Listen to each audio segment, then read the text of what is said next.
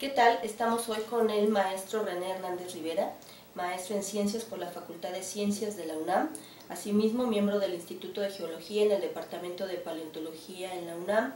Se ha interesado por la prospección de fósiles, su preparación, restauración, duplicación y montaje, además del desarrollo y publicación de libros digitales con licencia Creative Commons.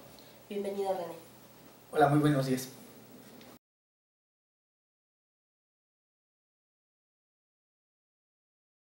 Fue una propuesta del doctor Víctor Guerra, en ese entonces director de la DGESCA, que actualmente es el DGTIC, porque yo andaba buscando precisamente en dónde publicar mis libros sobre dinosaurios, y en ese entonces él hizo la propuesta, de, y la verdad a mí se me hizo algo increíble en el sentido de que era muy novedoso, de que se publicara de una manera digital.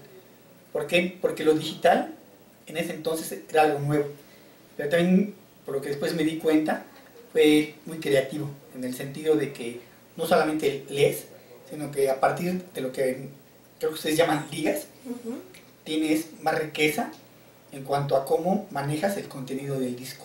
Esa fue la, propuesta de ellos. ¿Se encontraste en el medio una mayor riqueza para explotar la información o para poderla divulgar como tú querías? Sí, o sea, yo, al revés, eh, eh, me gustan mucho los libros, perdón, me gustan mucho los libros impresos, pero eh, la forma en la que se hizo el disco fue de tal manera de que tú leyeras, y luego me acuerdo mucho, de tiene algo de años, que te marcaban de un color distinto a donde tenías una liga. Y esa liga no te mandaba a otra liga, luego esa liga te mandaba a otra liga. Pero al mismo tiempo se incluyeron videos y también se hizo una bibliografía sobre todo lo que en ese entonces había sobre dinosaurios y algo que también nos ayudó muchísimo fue que al final venían todos los nombres de los dinosaurios que existían en ese momento y era como una ficha técnica. Venía el nombre del dinosaurio, qué significa, quién propuso el nombre, en dónde vivió, cuándo vivió y de esa manera tú tenías algo muy rico en un solo disco compacto.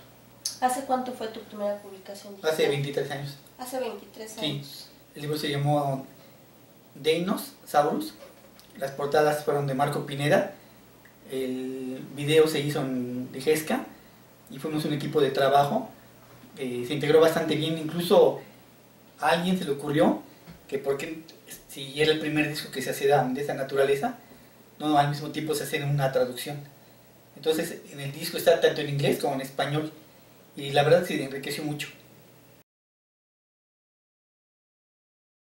Sí, Sí, porque yo creo que da una riqueza múltiple de que puedes aprovechar mejor todo el contenido del disco. Tienes el texto, tienes imágenes, tienes video y algo que recuerdo mucho que también me gustó era que no tiene que ser continuo como un libro el estarlo leyendo, sino que te puedes ir del capítulo 1 al 4, del 4 al 6, del 6 regresar al 2 y estar jugando en el sentido de que si algo te llama en ese momento la atención, yo me acuerdo que más le picabas ahí en una liga y te ibas a otro contenido. Y esto yo creo que hace que también interactúes tú más con el libro. Te digo, a mí me gustan mucho los libros impresos, pero te dan, yo creo que un mayor potencial los discos compactos, por lo que tú le puedes meter, sobre todo fotografías, que puedes ir cambiando, y, y también el video. Y eso enriquece más el contenido de los discos que hicimos.